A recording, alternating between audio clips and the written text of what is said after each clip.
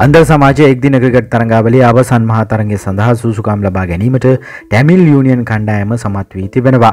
ඒ කොළඹ එසේසි ක්‍රීඩාංගනයේදී පැවති පළමු අවසන් පූර්ව තරගෙන් කොළඹ ක්‍රිකට් සමාජය ලකුණු දාසයකින් පරාජයට පත් කරමින් පළමු පන්දුවට පහරදුන් ටැමිල් යුනියන් කණ්ඩායම පන්දුවාර 48යි පන්දු හතරක් තුල සියලු දෙනා දැවි ලකුණු 238යි සදීර සමරවික්‍රම 74යි රොන් චන්ද්‍රගුප්ත ලකුණු හතලිස් අටයි. තරන්ජ සිල්වා ලකුණු හතලිස් පහයි. පන්දුවයමේදී වනිදු හසරංග සුපිරි පන්දුවයමක් සිදු කරනවා. කඩු හතරක් දවාගන්නවා ලකුණු තිස් හතකට. නමුත් පිළිතුරුයින්ම ක්‍රඩා කිරීමේදී පන්දුවාර පණහයිදී කඩු නමයක් දැවි ලබා ගැනීමට හැකැව ලැබෙන්නේ දෙසි විසි දෙකක් පමණයි වනිදු හසරංගගේ කණ්ඩායමට.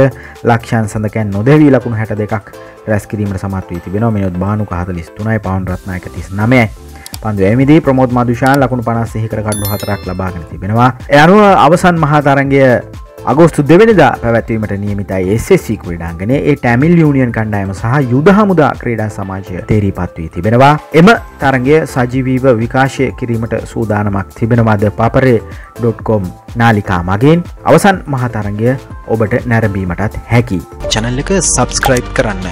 සීනුවෝබලා වැඩසටහන් ආපුගම්ම දැනගන්න.